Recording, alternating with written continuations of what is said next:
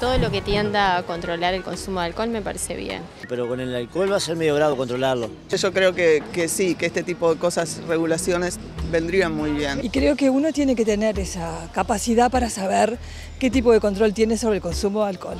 Que le metan en la educación si quieren, pero no, no en prohibir nada.